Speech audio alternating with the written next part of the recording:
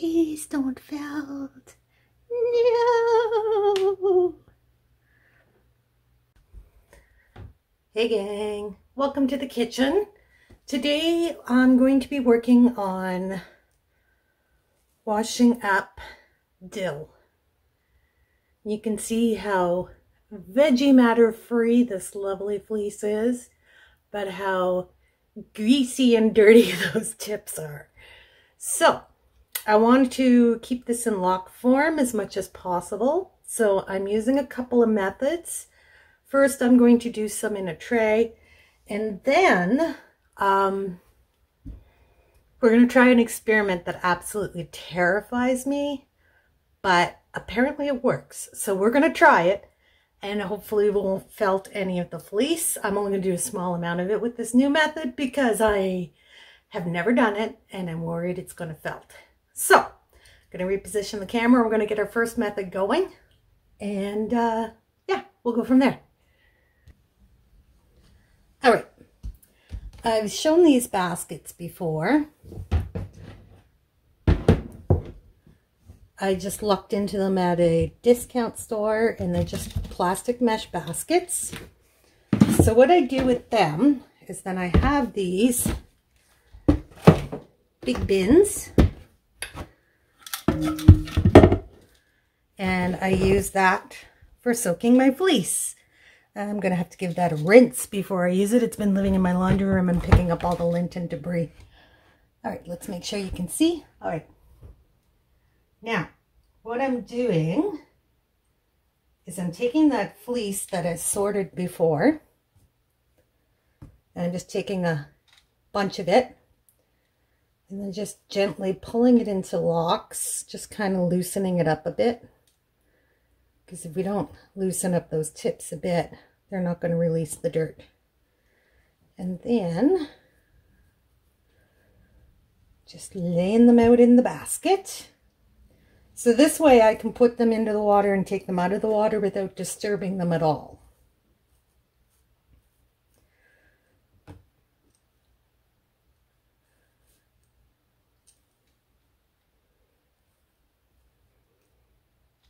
Just kind of aligning those tips. Now this would be a good time if you wanted to sort for length or crimp or whatever.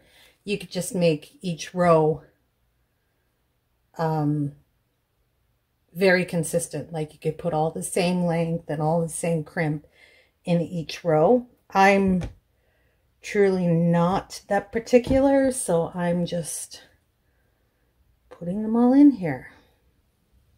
Now, because this is such a high grease fleece, I don't want to put a ton in here. So I'm just doing like a stack like to my first knuckle. So not very high at all.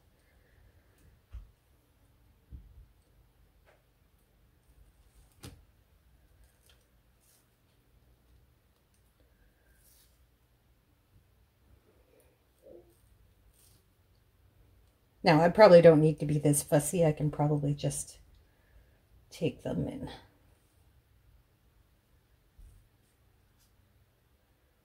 Just pull them apart and pop them in I'm just going to pull out that little chunk of ick that I see while I'm right there.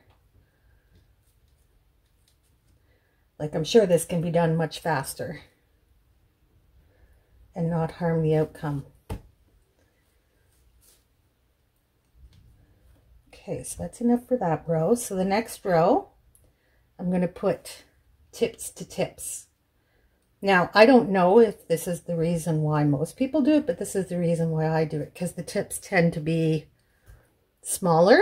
If I put tips to tips, that gives them more room for the water to move around. And I have no idea if that's why people do it that way, but I have found in my experience that if I do tip to tip, it just works better. So, let's get this next row in here. I've got the kettle boiling on the stove because we'll want to use hot, hot water for this to cut that lanolin. And I have my Unicorn Power Scour. I did get a new jug and it was like I think $200 by the time I was all said and done, but that's okay because it's the full gallon jug of it and it'll last me forever and it does the job so well that I just don't want anything else. Like, look at how gorgeous this fleece is. Can you see the crimp on that? It's so pretty. I just can't wait to get spinning this. All right.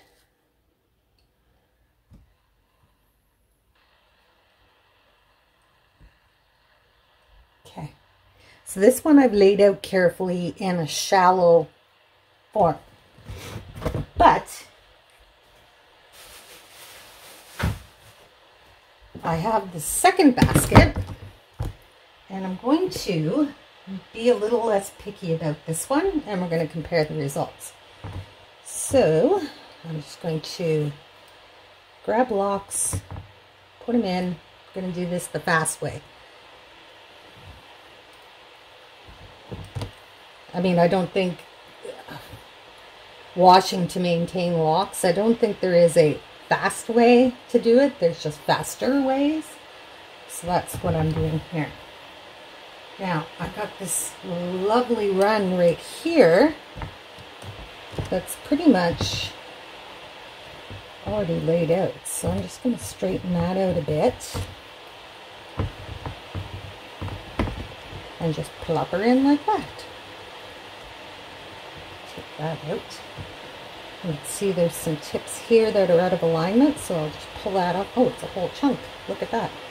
So then we can take this piece peel it off, sort it out, and plop it on. Alright, next, there's another run, so I don't want to go tip to butt, so I'm going to go butt to butt, butt to butt. They're dancing cheek to cheek. Alright. My sense of humor is so juvenile. Alright, here's another chunk. So we'll just plop that in there. I'm going to go tip to tip again. Now, because he was coated, you can see how you get this bend. I'm assuming that's from the coat, or it could be just from packaging it in a bag and stuffing it in there. Who knows? But I'm just kind of trying to straighten that out so that the tips are open to the water. I'm just going to pull that out. Pull that out. Put it into the not quite tidy pile.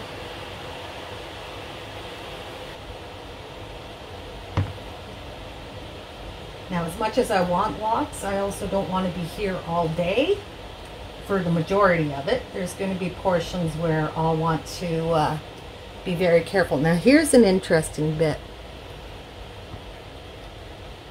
I'm assuming this is from up near the head, like the top knot area. And it's got such an interesting crimp happening here that I definitely want to get this washed up. So I'm going to put that right there.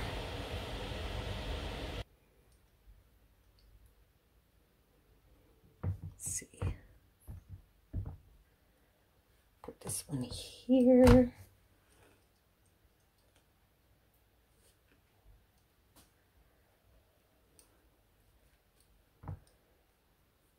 this one here. here.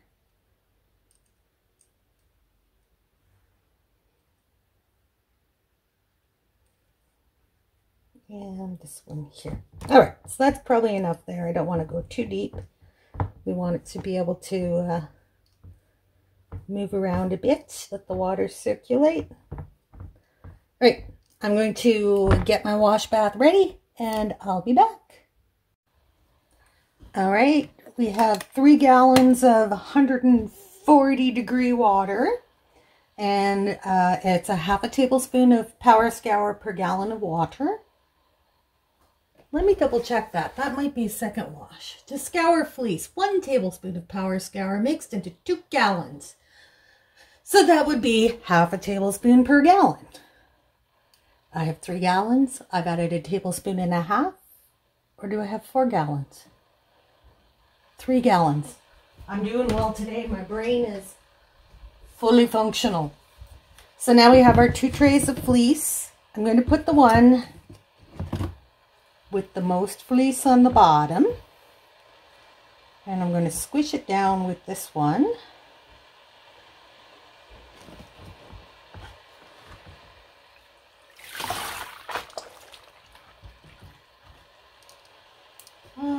Where's my spoon? There's my spoon. And I'm just going to push this down, make sure, I don't even have to push it down, it's under there. But I'll just give it a little taps on the ends. Now remember, got to be careful. There's heat and soap in here. We don't want to add agitation or we're in trouble. So what I'm going to do is put this lid from my electric fry pan on the top, which is going to kind of weigh it down. Hey Google, set a timer for 15 minutes. All right, 15 minutes. And that's starting now. All right, so we're going to let this sit for 15 minutes and then we'll come back and see how it's doing and get ready for our second wash. I'm already heating some water. I'm going to do two kettles of hot and then one kettle of tap water. Let's see, uh, four, eight. So that would be one gallon of boiled water and then two gallons of hot tap water gets me about the right temperature. So, we shall return. All right, second bath is all made up. Oops, I just dropped my thermometer in there. Oh well. Here's how it looks after our first bath. You can see the tips are still absolutely atrocious. But they were, oh, there's my spoon. They were filthy to start, so that doesn't really surprise me. So what I'm going to do now that they've had time to soak and soften up a bit, I'm just going to give them a little bit of a jiggle. My money don't jiggle jiggle, it folds. I'm sorry, too much TikTok. Just giving a little wiggle between those tips. Careful not to agitate. And then lift it out of the water. Yeah, I mean, we could scrub at them, but I'm not going to right now. And here's our other tray. And the tips are just about as bad on this.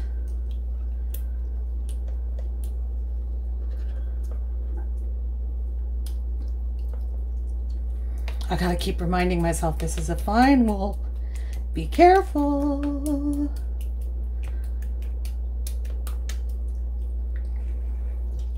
All right, now this time, I'm not gonna put the lid on it. So I'm gonna let the water circulate a little more and that's also gonna let it cool, but that means I'll be able to handle it then when I'm done. This one, um, we'll do a rinse or two and see where we're at. My goal at this time is not going to be getting these tips clean because that's not happening. But if I can get the lanolin out, then the dirty tips we can take care of after. And I should quit sticking my fingers in this because it's really stinking hot. Now, because those tips are so dirty, I started mucking around. So I took my flicker and I flicked the tips open on this chunk. Now those two little pieces took forever, made a mess of my flicker and basically tore the fleece because the lanolin's still in it. So I did not like that method. um, I hear of people flicking, but I would think more with a cat brush maybe, just to kind of loosen them up a little bit. So these ones here, I just went through and I just picked them open by hand a bit to kind of let that water get through more. And uh, we'll see if we can get those to clean up a little better. Uh, we have a few more ways of uh, cleaning the fleece. I have some here. I've just been kind of stapling out some of the finer crimped stuff.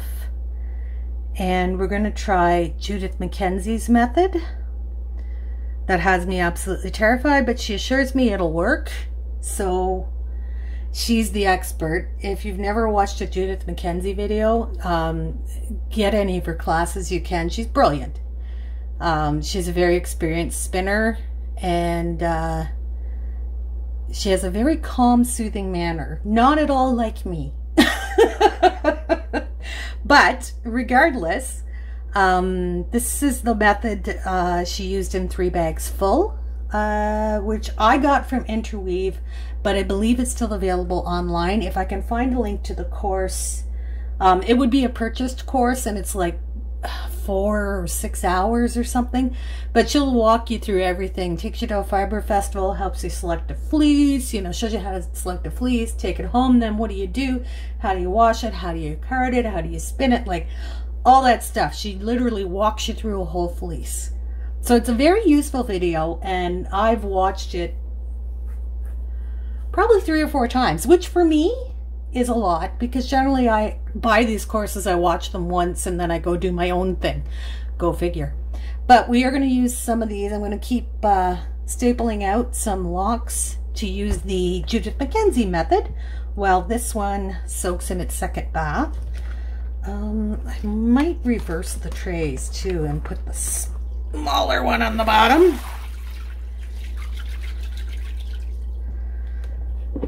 Now this is going to get messy.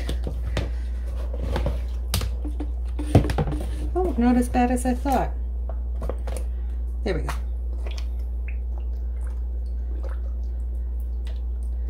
All right, so I'll let that soak for another 10 minutes because uh, I've probably been blathering for five.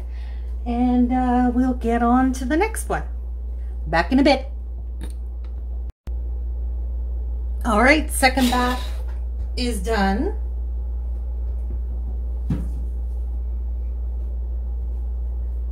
So here we go. We're to start rinsing our fleece.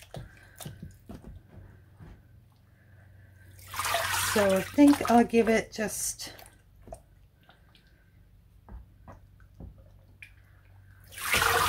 couple little dips here. Hey! Oh, that must have stuck to the bottom of the basket. Just going to throw it on top.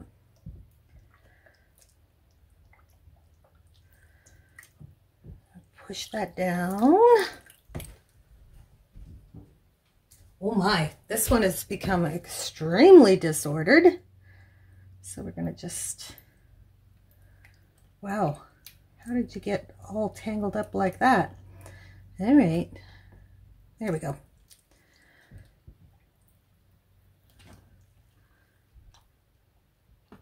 So, this does not do uh, poop for the tips. so, I'm going to try the Judith MacKenzie method. I'm going to push this back and let that soak. And while it does, we're going to take a piece of material. I just have an old sheet here. And then we're going to take our locks and we're going to lay them out. Now, I have never done this, um, so I don't know how it's going to work. Mosquito. Missed him. Darn it, he'll be back.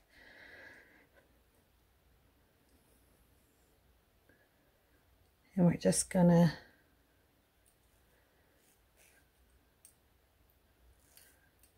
lay these out on our piece of fabric.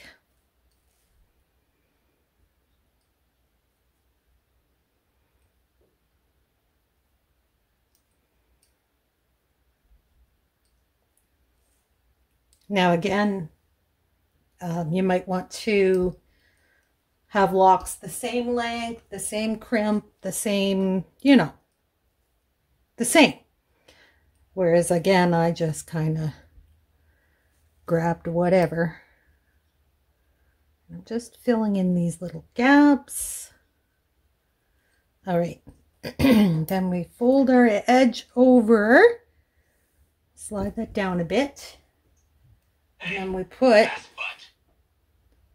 that was my phone, and then we put a second row of locks above it. Now she says when she started doing this, she would only do one row of locks per package, but as with all things fiber, you got to find a little more efficient way to do it. So she started doing tip to tip, two rows of locks.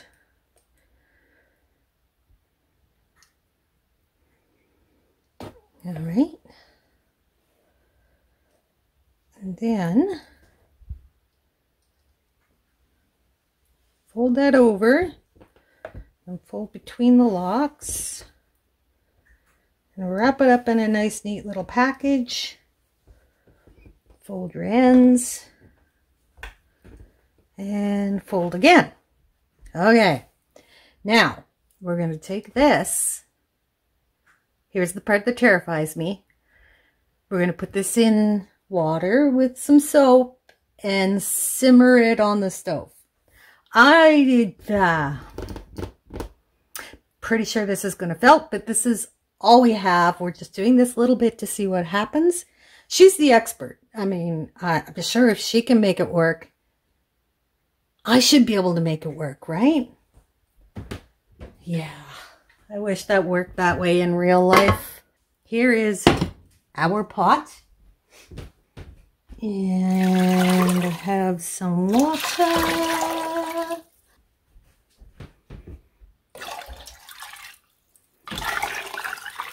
All right, there we go. Now,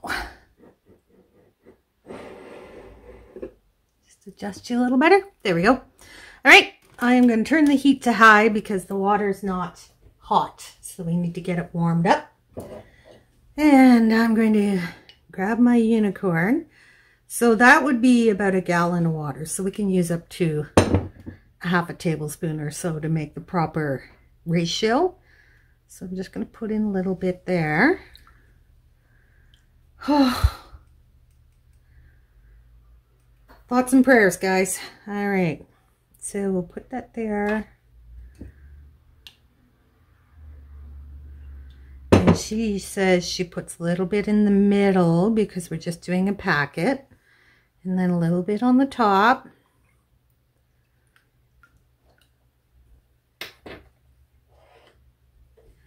And I'm just going to push that down under the water. Somehow I think she's more expert at this than me and that my results are not going to be like hers. now she says usually she will do a bunch of these packets and put them in like a lasagna pan and simmer it on the stove. But uh, I might just might have a little bit too much water in here, so I'm going to take some out. There. Now it's not floating around as much. All right. Yeah, I'm going to wait for that to start to simmer till it's almost boiling. And then I'm going to turn it down to low. And we'll see what happens. Are you scared? I'm scared.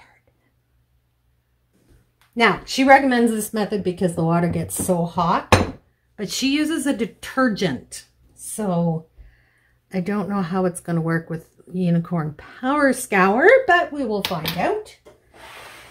And I am going to set up for our next method of washing locks. I'm turning that to low now because I'm a chicken.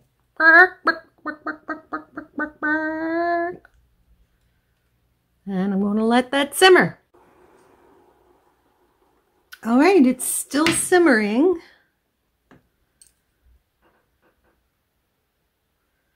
I'm just going to let that continue to do so.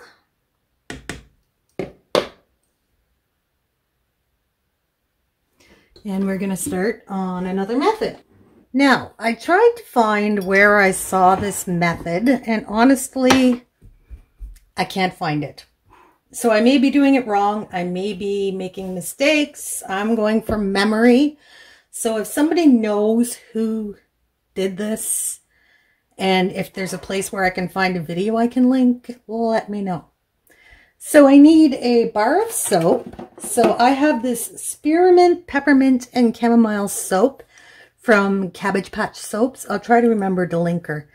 Laura's very sweet. And my brother always gets me her stuff for Christmas, which makes me very happy. So what we do is, you ready for this? I don't know if I am. We take a look, and this is boiled water. So we dip it in the hot water, and then we rub it on the soap. Woof! That's way, way, way too hot. I'm not going to be able to do this. Okay.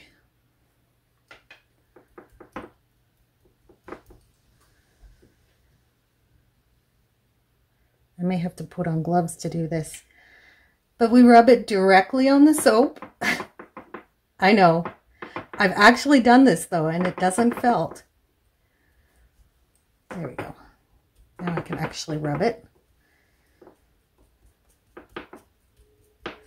And then we use our second cup as a rinse water. So we just dip, dip, dip. Ay, chihuahua, that's hot. And then we rub it on the soap.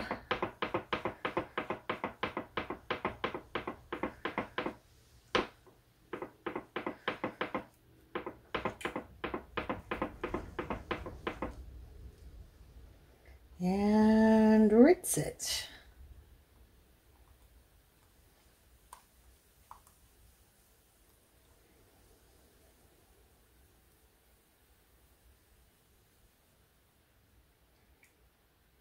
Okay. See how clean it's coming? Can you actually see that? It's hot. Hold on. Okay, there we go. So you can see how clean that's coming.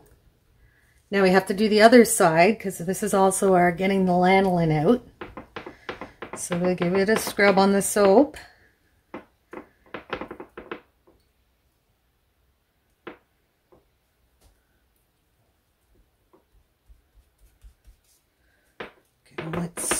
Soap in there. And then we rinse it.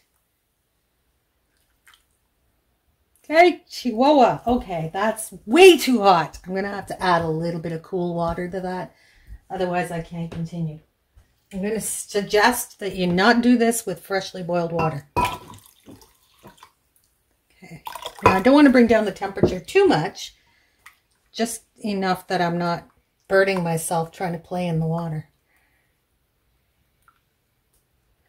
Okay, ah, much better. I can actually touch it. It's still very hot, but it's no longer burning me. All right, so there's our first lock. I'm going to lay it out on this microfiber cloth to dry. And I'm going to grab another lock. And we're going to go again. So at this time I'm going to start with the base because it's cleaner part. So we'll dip that in the water onto the soap. Gosh, this soap smells so good, guys. I wish they had smell-o-vision. You want to make sure that you get enough soap worked into there to get to all of that lanolin.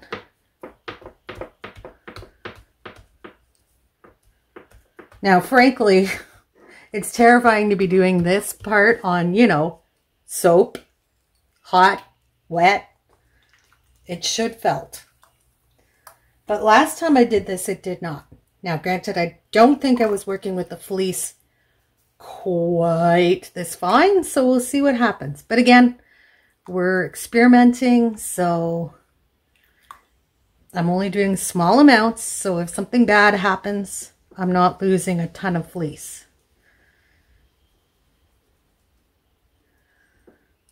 Now you want to keep your waters about the same temperature so you're not shocking it by dipping it into cold rinse water.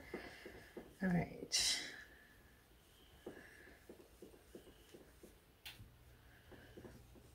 Now you can literally feel it in the lock as it fills up with soap.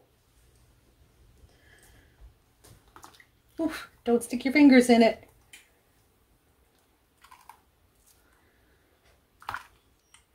There we go. So the advantage is as you rinse it, you can feel when the soap is out too, which theoretically means the lanolin is out. But you can see there's still a lot of soap in there. I think I ran into this problem last time too, is trying to get that soap out. Ouch.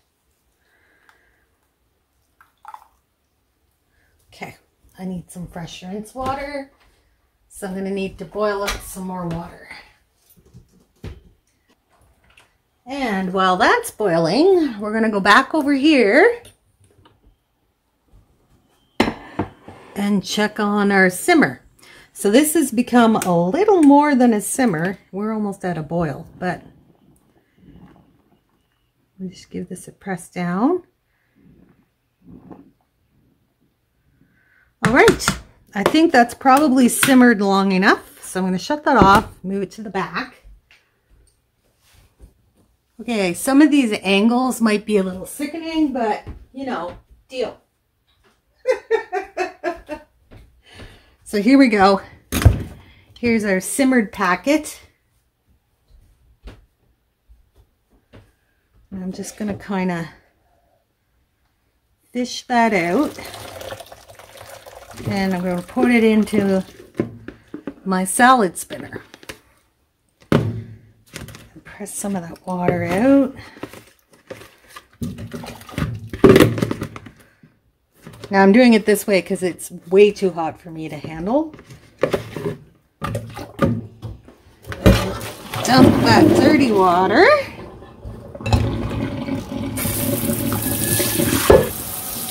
Now, what I have over here is a grease trap for attaching to my sink in the basement for when I'm washing fleece. So I dumped some of my wash water in there and I'm just letting it to sit to see if that will actually separate or if the soap keeps it suspended. Just a little experiment. All right see. Just going to give this a quick spin to get that dirty water out. Alright, now let's see if it's cool enough. Yes. No. Yes. No. oh yeah, boys, that's warm. Now, because the risk for felting is always in going from hot to cold and never cold to hot. I'm going to put this on the stove and get it heating up before I put that in to rinse. And just an FYI, this has been sitting in my grease trap for probably a good half hour and all the lanolin is still suspended by that soap. So I don't see how that could possibly harm my pipes. But that's me. If you're concerned about it, don't do it. So far, I'm not concerned about it. And that is plenty hot. We are going to pop in our packet. I've got like eight different methods on the go here right now. All right, so we'll push that down.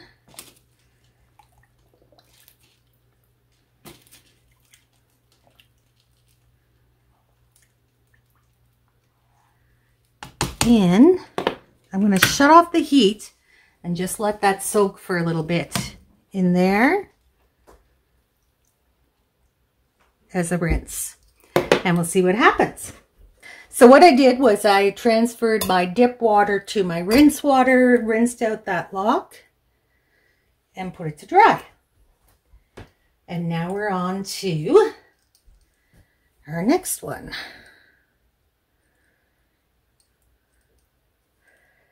Dip, dip, hot onto the soap.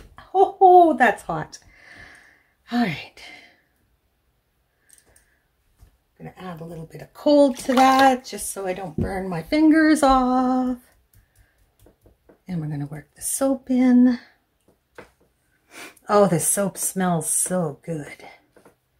And honestly, this soap is a little easier on my hands than scour. All right, so you can see we've got it all soaked up. It's completely saturated in soap. And we're going to dip it in our dip water. Give it a rinse.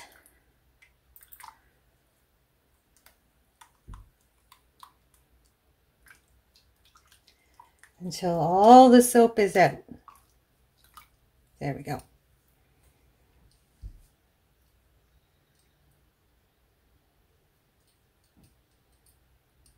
I'm going to try doing a little bit of a bigger chunk this time. Give it a bit of a twist so I can hold on to it. Get it all wet. And then onto our bar of soap that smells so divine. I can't, I can't get over how good it smells. I'm just standing here like, oh yeah, baby, that's good. That's some good stuff. Yep, yep, yep. And I'm not a big perfume person, but I think because it's like spearmint, peppermint, and chamomile, they're all like more natural scents. So, okay. So by doing a bigger bunch, yes, I got more through, but it doesn't come as clean. You can see those tips are still really caca. They got the, the cuckoos in the tips. So we're going to rescrub those. Now, I'm going to say don't use a whole lot of water in your cups because you're going to just like this one won't rinse any more water out. So we'll dump that. Switch our dip water to our rinse water. Ouch. It's like the water becomes so inundated with soap that it just won't rinse anymore. And you need to freshen it up. We'll do a little bit more and then we're going to stop and let it dry and see if we've managed to felt it. Here are the locks that I just washed by hand on a bar of soap. I'm just going to press them with the microfiber cloth. I'm going to put them out to dry and see if they felted, which it feels like they might have on the cut end. This one's fine. This one, well, maybe not. It's so hard to tell sometimes when it's wet, especially with the finer crimp fleece, because it is going to cling together. So, that one's got to go out to dry. And we will pull these trays out, throw them through the salad spinner, and then they'll go out to dry. And then we will take our packet off the stove, run that through the salad spinner, and take it outside to dry. Now it's a nice windy day, so all of this should dry up fairly quickly, hopefully, if it doesn't start raining. So when it's all dry, we can assess the different methods and see if there's one that we like or if they're all a big fail. So I shall see you in a while.